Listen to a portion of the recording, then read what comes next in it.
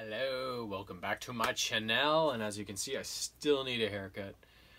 Kids aren't coming back to school officially now though, so since I won't be like seeing that many people at work, uh, I may shave the head just to get this whole thing over with, and then I won't have to pay for a fucking haircut.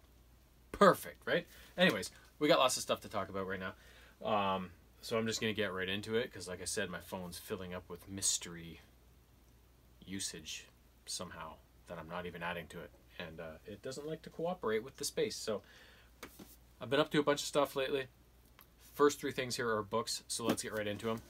First one up is the third, I think the third, yeah, book three in the Dragonwatch series called Master of the Phantom Isle. So in this book, um, Seth, uh, Kendra's brother Seth, uh, co uh, caretaker of the Wyrmroost uh, Dragon Sanctuary, has lost his memories after their last adventure. And so he's been taken under sway of Ronodin, the, the Dark Unicorn, when the, the siblings got separated at the end of the last adventure. Um, so he's he's Ronodin is swaying Seth to do certain things because Seth has the ability to um, uh, speak with dark presence and, and stuff. His, his abilities border on the dark, even though he's not a dark or evil person. His abilities lie in that realm. So Ronan is kind of steering him to do some some of his evil biddings. And the first thing he has him do is is uh, go to a prison and release a bunch of wraiths and demons and spirits and stuff like that. And it just so happens that the the location where of this prison where he does so is at Wyrmroost Sanctuary, and basically with Celebrant the Dragon King um, waging, uh, announcing war on the humans and the sanctuaries, uh, wanting the, the dragon's freedom. Um, this is the last step in in in kind of making that plan come to fruition at Wyrmroost is releasing this these wraiths, which basically force all the humans and, and stuff to flee Wyrmroost, and the sanctuary falls. Um, so Kendra and all of her allies end up going to Crescent um, Lagoon, I think it's called, which is another sanctuary far, far away, and it's out in the ocean. Most of it is underwater, actually. And uh, it had recently fallen, but they'd gained the, the the keepers there had gained a foothold in getting it back under control. Um, so Kendra and her allies go there because what lies there, if they can help recover the sanctuary um, and and deal with the mer people and all that sort of thing, they can find a way to possibly get Seth his memories back and, and get him back from Ronodin and and uh, get him back onto the right side.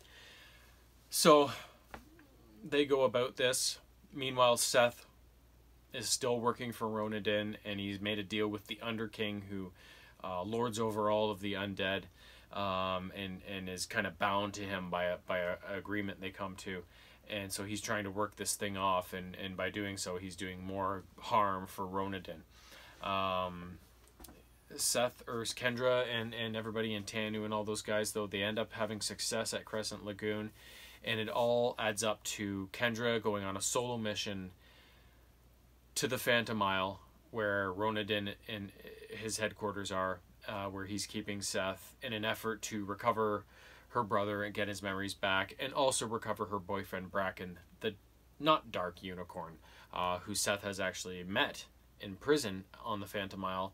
And uh, Bracken was the first one who kind of swayed Seth into thinking maybe I'm not doing the right thing. Maybe this Ronodin guy is really an asshole and he's he's tricking me, right? Seth just doesn't know because he's lost all his memories. He doesn't know who he is, what he does, um, and, and, what everything means. So, um, so it all leads to the Phantom Isle uh, in in one last adventure where everything clashes and stuff. So I think I am not sure how many books he's doing in this. Usually he does around five, so uh, there might be a couple left. But uh, I've got the fourth one on my list, but I, it's just not out in in paperback yet. So, but it will eventually hit my shelf. Next up, Leia, Princess of Alderaan. This is kind of like a Leia, Leia, Leia, Leia prequel story. Like it, it, it starts off when she's 16 years old. She's just uh, about to go through this ceremony with her parents on Alderaan that basically announced she's an adult and she is going to be uh, claiming her right to become the next Queen of Alderaan uh, when she comes of age. And uh, in order for her to do that successfully, she has to go through these three trials uh, heart, mind, whatever, something like that. So basically, one of them, she becomes a junior legislator, uh, senatorial, whatever, in the Galactic Senate. Um, one of them, she. Um, wants to climb Mount Alderaan or something like that. There's a physical challenge, and then the other one is she joins a Pathfinder group, and uh, in this Pathfinder group, she comes across Amilyn Holdo, uh, a young Amilyn, and that's the. This is cool because this shows kind of the basis and the start of their friendship. And as we know, Amilyn uh, sacrificed herself in the Last Jedi. I think it was when she ran that Star Destroyer through with her ship. Um, and uh, also in this group is a is another Alderan- Alderaanian senator, uh, junior senator named Kier Domadi, who Leia eventually develops a romantic relationship with. Um, so she's finding though Leia that her parents don't have time for her anymore. She's feeling really ignored. So she tries to do, do something good and goes to this planet called Wobani on a um, uh, a mission of aid and. Uh, she sees how bad the conditions are and she tricks an imperial officer into letting her take a bunch of the people off planet back to Alderaan as as new hires to their crew and stuff. Um, when she gets back, her parents are mad at her because they're like, "We had it in place that we were going to free that planet, but now you've ruined it because you made the imperial officer there look stupid, and they're not going to let this go through anymore." So, um, so she feels even worse now that she's made this mistake, and her parents are mad at her now.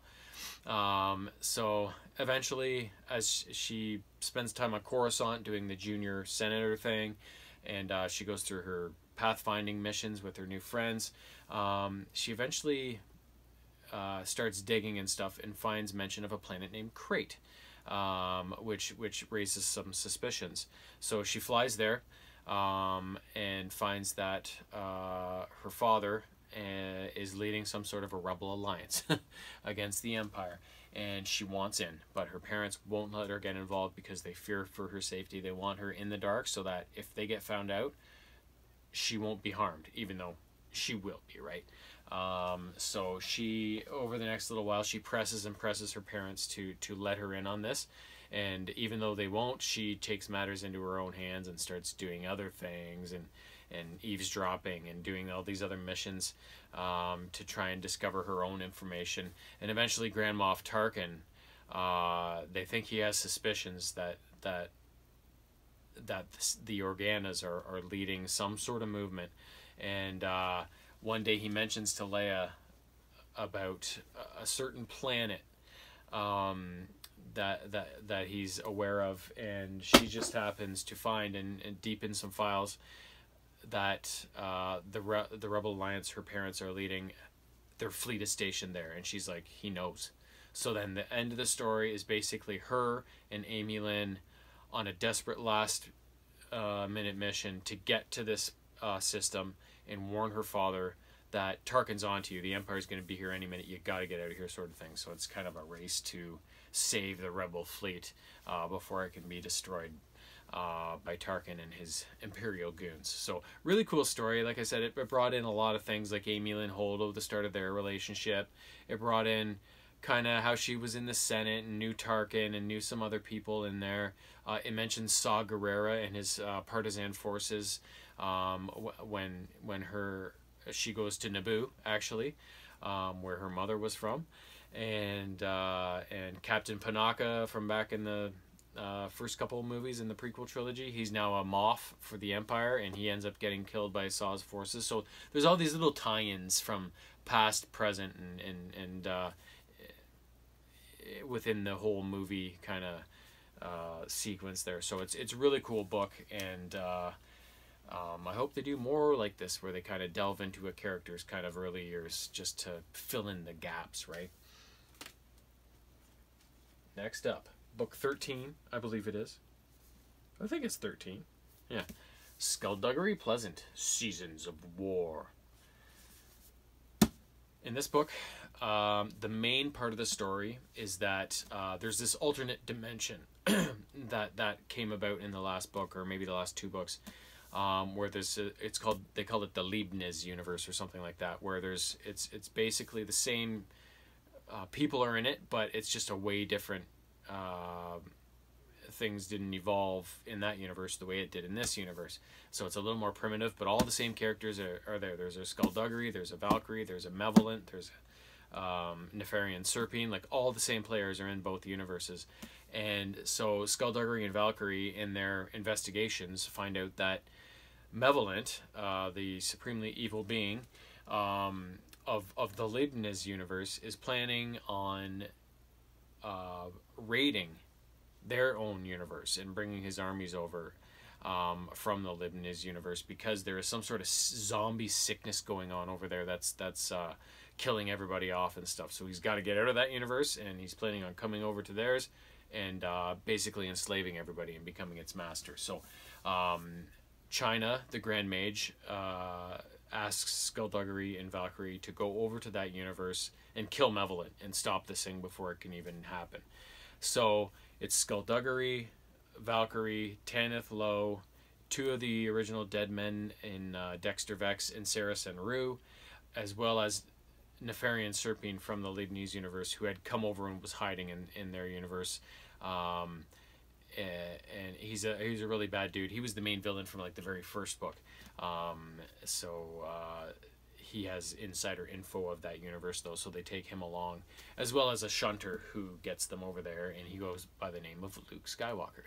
Funnily enough, um, so they go over there and basically try to kill Malevolent, and there's all sorts of left turns and right turns and back backups and stuff along the way, and and uh, they meet with a lot of resistance. They lose one of their numbers, actually a couple of their numbers, and uh, and and it's uh, a real kind of mess in the end that they get themselves into as the war finally does spill out into their own uh, universe and and uh, and threatens to to ruin it. So and and while all this is going on, there's two other kind of side storylines going on. the Darkly brothers, who um, Auger is destined to battle the King of the Darklands for the safety of their own universe. Um, when he comes of the age of 17 i think it is. He's still only 16 or whatever so it's not supposed to happen for another year. But uh, in order to to prepare Auger for this um, Omen and his friends attempt to secure the obsidian blade which is the weapon that can kill the king of the darklands which Auger is going to need. So they have this whole little sequence where they're trying to obtain this blade from some bad sorcerers, and uh, there's lots of danger involved. And then the other side story is that Darquesse, uh, who was brought back from wherever they sent her back a number of books ago, um, he, she, she was brought back at the end of the last book by that uh, Sebastian guy who wears the plague doctor mask and all that. And uh, at first she just is non-responsive when she gets back to, to this universe and uh, so he kind of talks to her and gets her um, trying to play by what they want her to do and uh, and eventually she comes around and she has all these requests of him that she wants to do before she can deem this universe worthy of her attention or whatever so it's it's got this whole thing going on which gets kind of weird but also hilarious in the end so um, really awesome book, awesome series. I hope it keeps on going. I don't know if this is ever going to end or not, but it's it's such a violent. It's it's a series for young readers, but there's so much violence in it um, that it's just awesome. And anybody can die. Like basically anybody can die, and they die badly. Like it's ugly. And uh, and there's just so much humor in it too. It just every situation is punctuated with a ridiculous type of humor and uh, and it just uh, it just makes the book fly along. And I, have actually tried to write a couple of small children's books uh, myself, and I, I stylized a lot of my writing after this with the humor. I, I try to work in that same type of dry, ridiculous, uh, quirky kind of humor that that Derek Landy puts into his Skulduggery Pleasant books uh, because I just it just makes me laugh so much, and, and I, I even in such a dark kind of book series to inject that kind of humor is just it makes it so it's, it's such this contrast between violence and death and and ridiculous humor right? So i just i love the Skulduggery Pleasant series. Next up. Super Mario Land for the Game Boy. This was a launch title for the original Game Boy system in 1989, and uh, and it's it's basically the same type of Mario platformer that you got on the console with some differences. One of the main differences is um, the plot line.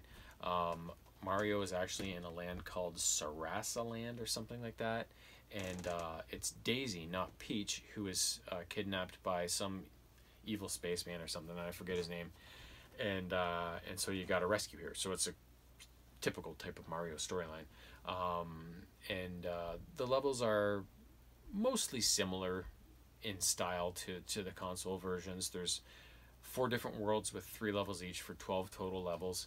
And uh, the main difference between a couple of levels though is that there's like vehicle levels. And one of them you use like i think a submarine and the other one some sort of flying ship i think. That kind of it, it's that scrolling sideways scrolling that it pushes you along right? You have to take your enemies as they come as you're pushed along the screen sort of thing. So it's it's kind of some varied gameplay there with some vehicle levels.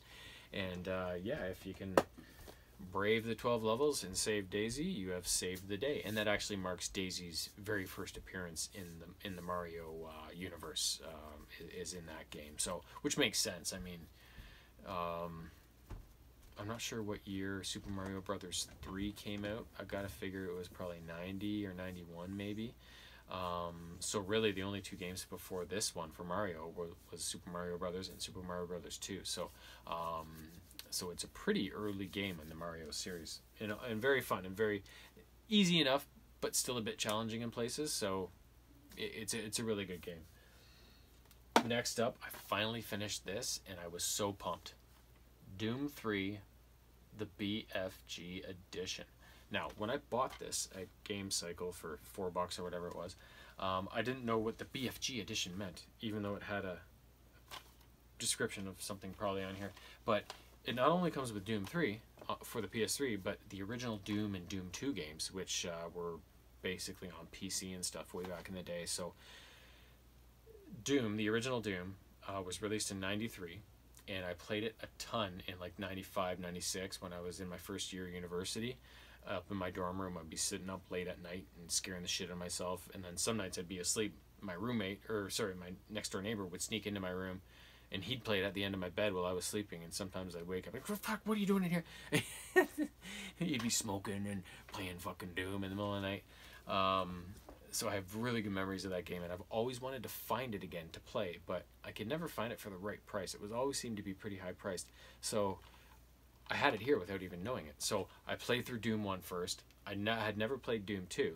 Um, so I played it after and beat it, and then finally I just beat Doom 3 the other day. So this was many months of work getting this done, but it was totally worth it because I love the Doom series. And as you know, I beat the Doom, the 2016 version of the game for PS4 a while back. So um, all I got left now is Eternal. So the original Doom, the plots are pretty simple for those first two games. Uh, you're a a soldier who's been stationed on Mars in the first game, and uh, where they have been experimenting with teleportation, and they basically teleport demons from hell uh, onto Mars, and you've got to fight through the masses and whatever, and, and, and destroy them all. Uh, in Doom Two. Um, you return to Earth and find out that oh shit, the invasion has reached Earth too. So then you got to free Earth from the invasion and eventually go to hell and face down the big bad boss. Um, these two games very similar. Um, they basically just kept the same engine, exact same graphics, exact same everything to do Doom 2 from what they did in Doom 1, just with different levels. Um, they added some different enemies. I think they added a couple extra dish, uh, different weapons from the first game. But basically, it was a carbon copy of the first game, and not in a bad way.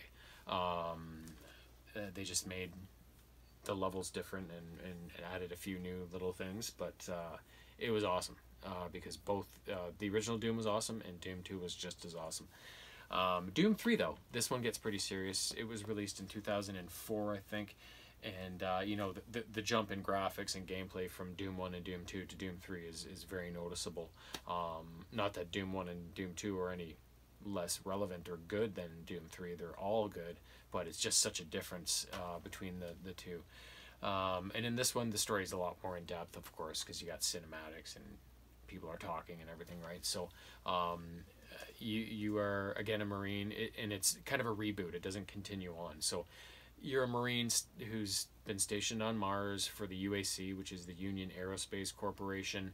They are on Mars again, experimenting with teleportation and whatnot, and they're led by this doctor named Malcolm Betruger.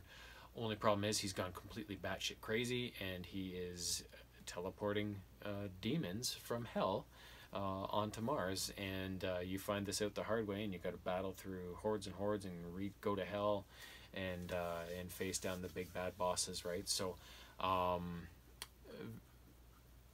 very, um, very different from the original Doom.